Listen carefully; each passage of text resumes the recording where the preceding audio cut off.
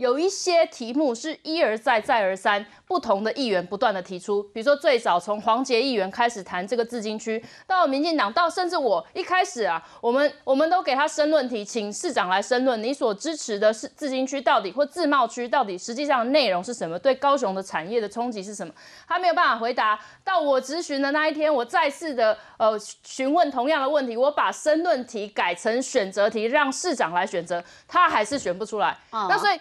这也凸显出他其实是对高雄市政是无心的，而且就目前啊，我们所看到高雄市长的公开行程里面，刚刚这个博弈议员说啊，他很忙，哦，他都在专心市政。我在这边真的是打一个大叉哦，我从来史上没有看过一个市长的公开行程这么少的。我目前啊，在韩市长的公开行程一天大概就是一到五个以内，而且常常会临时取消延后。然后就不去了。那他在干嘛？真的我不知道他在忙什么。那过去，比如说我们身为民意代表，一天十几二十个行程都是稀松。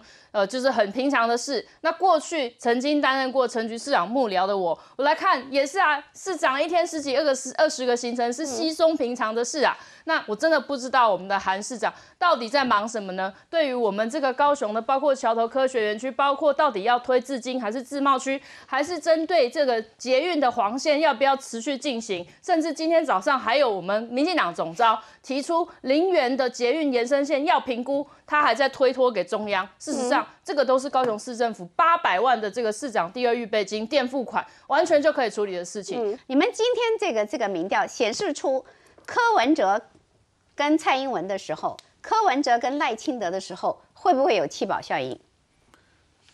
呃，难免了，就他现在在观察嘛。如他现在柯文哲刚刚其实嘉兴有讲嘛，你两边吵得越凶，柯文哲就越高嘛。对，那就看蓝绿。你们两边怎么好？你比较挺赖清德，我直接问你，这个数字会不会显示出赖清德会被弃保、弃弃赖跑科？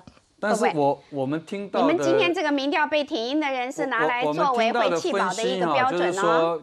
呃，反而是赖清德出来，柯文哲比较会被弃掉的可能性比较大。可是这个数字然后小英出来，小英反而比较会被弃掉，因为。